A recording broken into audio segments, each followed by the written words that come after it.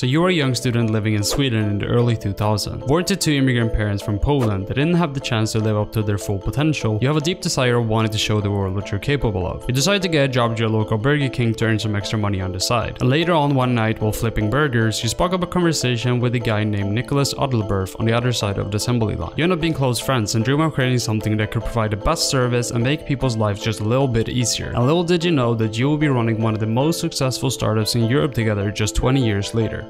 This is a story behind Klarna, one of the world's most successful online payment processors. Klarna's founder Sebastian Siemiatkowski was born to Polish parents on the 3rd of October 1981. The family lived in the northern town of Sundsvall, Sweden, where Siemiatkowski would spend his early years. His parents immigrated to Sweden for a better life, but life in Sweden did not turn out as they had imagined. Siemiatkowski's father had studied for a doctorate, ended up being unemployed for a long period of time, and jumped from one job to another for a long period. His mother, who was also an academic, was an early retiree because of problems with her back. During this time, the family would sometimes eat the same dish day after day for weeks, and Siemiatkowski would start to pick up on the differences between his lifestyle and that of his friends. His parents' relationship relationship was also full of conflict, which inevitably led to a divorce when Siemiatkowski was only 8 years old. And although Siemiatkowski didn't suffer from it at the time, he understood in retrospect that the family was struggling and the main cause was lack of money.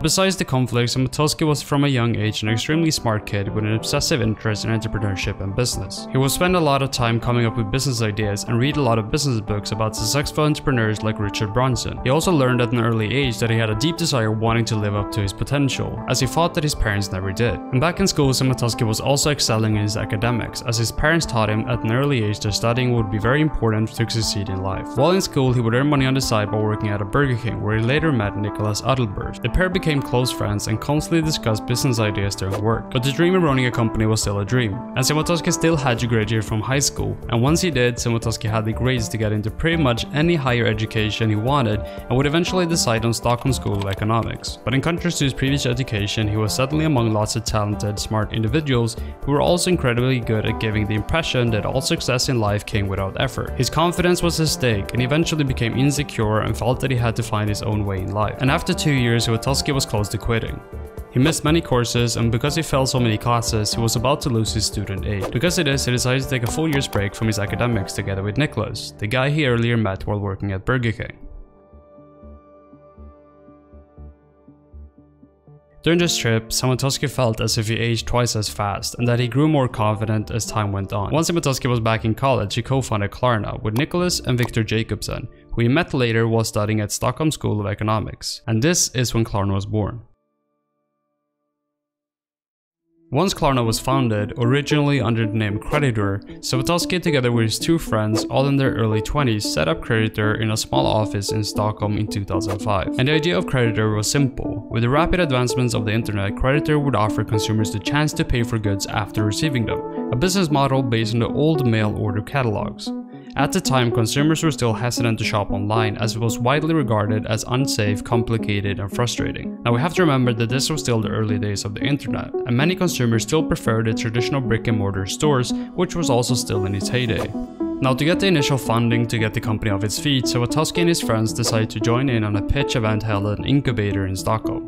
After the pitch, a woman at the event called Jane Walerud loved the idea and approached the group by explaining that she had access to some of the best engineers and that she recently sold the company Bluetail for $150 million during the dot-com bubble. Now as no one among the founders at Kreditor had an engineering background, this was the perfect match for the company as they still needed developers to get their initial version of the software working. Kreditor eventually took on the offer from Walerud and ended up giving away 37% of the company to a group of 4 developers and 10% to Walerud in return for $60,000 and he helped to get the software off the ground. Everything was going perfectly for Kreditor up until this point. That was until Siemiatkowski and his friends realized that the contract with the developer mentioned that the software was to be completed, and then the four developers were free to go their way and keep their stake in the company. And this is exactly what happened. The developers completed their software in 4 months and left the company, leaving the founders without any engineers to continue working on the project. One engineer even said that the company would never be big enough to need 4 engineers anyway, so it wouldn't make sense for all of them to stay at the company full time. Obviously, the 4 developers didn't share the same vision as the founders, as they would sooner or later regret.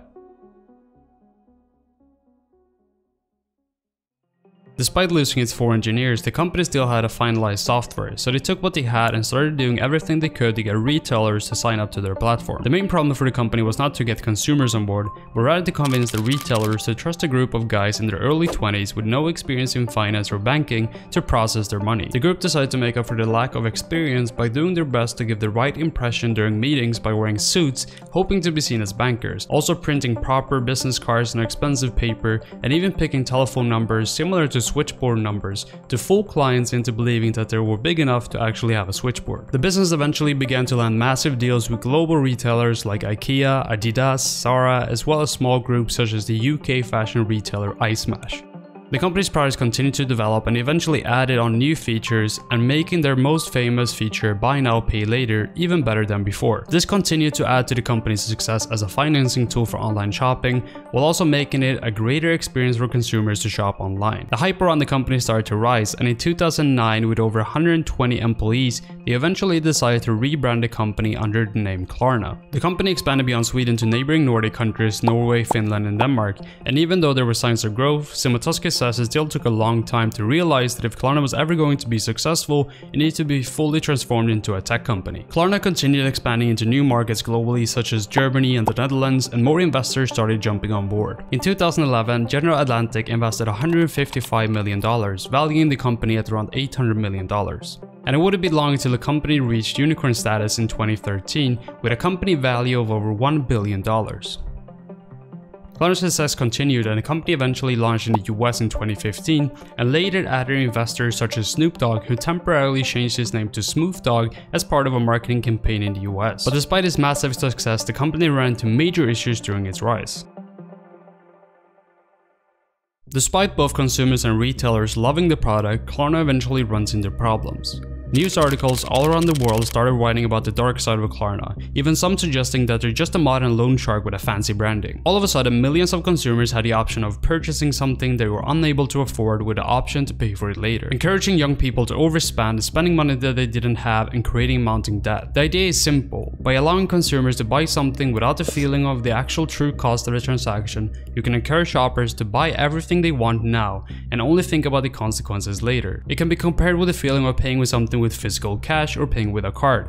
In general, most people are more reluctant to spend money if they can feel it and touch it, as it feels more real once you actually hold it in your hand. Now Klarna with its carefully developed checkout experience make this even more frictionless. The joy of getting an item now, an item we may have previously thought of out of our budget, shadows the contractual obligation to pay for that very item later down the line. The Klarna app seems to misrepresent the brute fact that this is a company that profits from the debt of others. By luring young people into its vision of cool and its understanding of millennials' desire to purchase the latest trends and keep up with influencer culture. It encourages purchases from a group of people with statistically lower incomes and introduces them to a credit in a way that normalizes the purchasing of items you cannot immediately afford.